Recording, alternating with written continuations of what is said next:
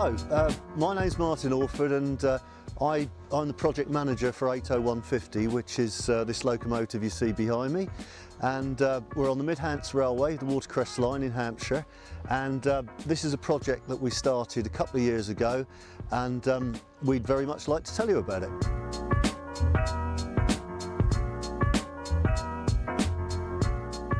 I think realistically when you're putting timelines on locomotive restorations, you can normally add 10 years to your initial estimate and you'll be somewhere near the, the truth.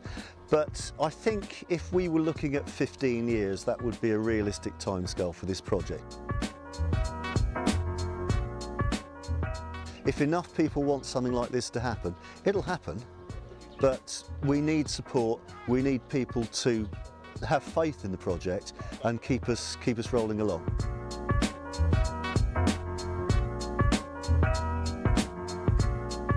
When we first looked at this locomotive, it had butterfly bushes growing in the cab. It was one of the rustiest machines I've ever seen.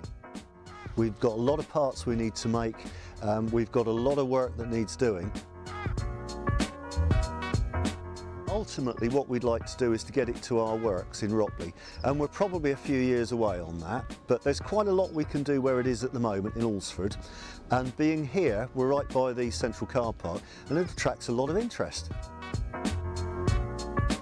This being a long-term project, it's all volunteers working on this, so we're a bunch of guys having a go and seeing if we can make a difference, basically.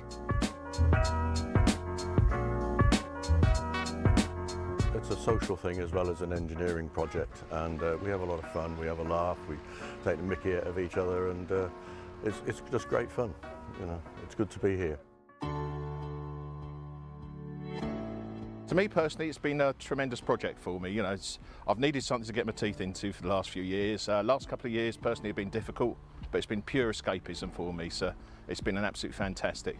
Yeah, the gang I work with are absolutely a superb bunch of guys, and yeah, I couldn't recommend it enough to people. If you're thinking of getting involved in something, get involved. I definitely get younger people involved. I mean, I'm the youngest one in the group so far. I mean, I'm 21. I would definitely encourage anyone who wants to come work down on the loco. That, I mean, how many people can turn around and say they've worked on one of the Barry's 10 for the last ones over there? It's kind of taken over my life a bit, if I'm honest, but it's a fabulous project. Um, it's got loads of potential.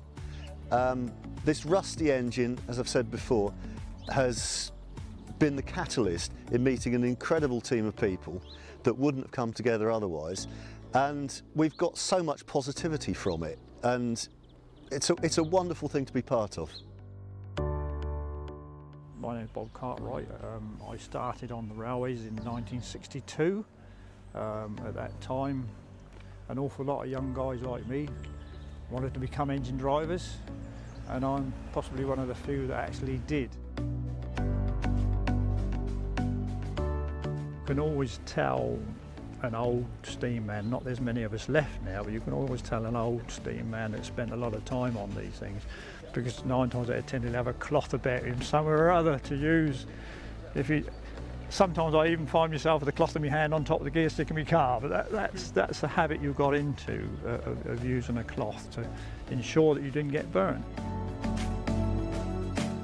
I have a little bit of history going back with this engine insofar as that um, towards the end of the watercress business with the railway, before it went all went on the road, I came up here with this engine one day to pick up the watercress van and take it back to Winchester to be taken up to London. It's perfect for our trains. It's the right size, it's not too powerful and it's not insufficient in power. It's just the right size for the sort of services we run on this Heritage Railway. Yeah, I'm definitely going to stay here for the duration of the whole thing. I want to see it Stephen again, Esther Martin and all the others.